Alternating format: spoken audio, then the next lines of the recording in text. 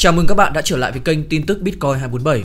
Với những bạn chưa có tài khoản để mua bán và giao dịch Bitcoin, các bạn có thể mở tài khoản trên sàn Binance theo đường link mình để ở phần mô tả để được giảm 10% phí giao dịch chọn đời. Và thông tin ngày hôm nay.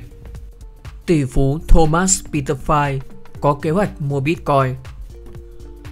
Tỷ phú Thomas Peterfy đã chia sẻ triển vọng của mình đối với Bitcoin và nền kinh tế Mỹ trong một cuộc phỏng vấn với Forbes vào tuần trước. Peter Fay là người sáng lập và chủ tịch hội đồng quản trị của Interactive Brokers, một nền tảng giao dịch trực tuyến. Giá trị tài sản dòng của ông hiện tại là 18,4 tỷ đô la. Vào tháng 1, tỷ phú này nói rằng các nhà đầu tư nên có từ 2% đến 3% tài sản cá nhân của họ bằng tiền điện tử, đề phòng trường hợp tiền pháp định mất giá trị. Vào tháng 7 năm ngoái, ông tiết lộ rằng mình đang nắm giữ một số Bitcoin với nhận định đây sẽ là một loại tiền tệ thống trị. Thomas Peterfy đã nói với Forbes vào tuần trước rằng ông vẫn tin Bitcoin có thể trở nên rất có giá trị, mặc dù thị trường tiền điện tử phải chịu cuộc bàn tháo gần đây.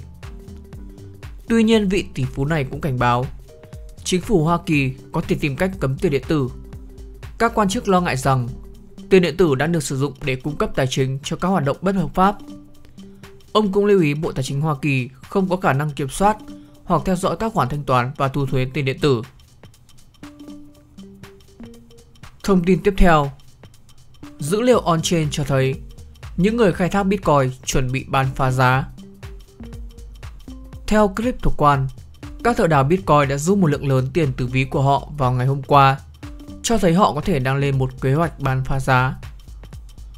Dự trữ của thợ đào là một chỉ số đo lường tổng số lượng Bitcoin hiện đang được lưu trữ trong ví của tất cả các thợ đào. Khi giá trị của chỉ số tăng lên, điều đó có nghĩa là hiện tại một số lượng tiền dòng đang vào ví của thợ đào. Xu như vậy khi kéo dài có thể cho thấy các thợ đào và các nhà đầu tư đang tích lũy. Điều đó có thể là tín hiệu tăng giá cho tiền điện tử. Mặt khác, giá trị dự trữ thấp hơn cho thấy các thợ đào đang rút một lượng Bitcoin dòng hiện tại. Như trong biểu đồ trên, dự trữ của thợ đào Bitcoin đã giảm đáng kể trong ngày hôm qua. Biểu đồ cũng bao gồm dữ liệu cho hai chỉ số khác, chỉ số vị trí của người khai thác Bitcoin và dòng chảy ra của người khai thác Bitcoin. Chỉ báo này đã tăng đột biến vào ngày hôm qua.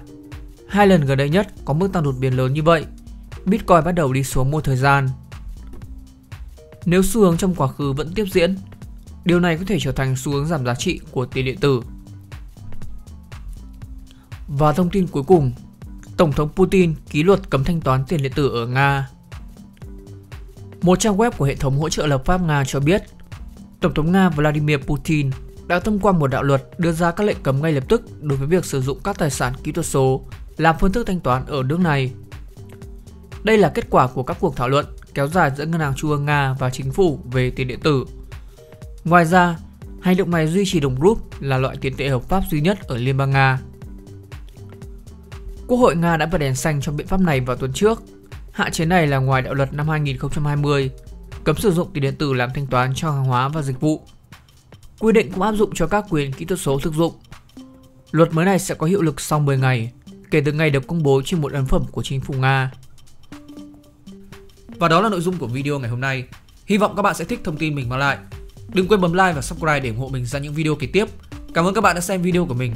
Xin chào và hẹn gặp lại.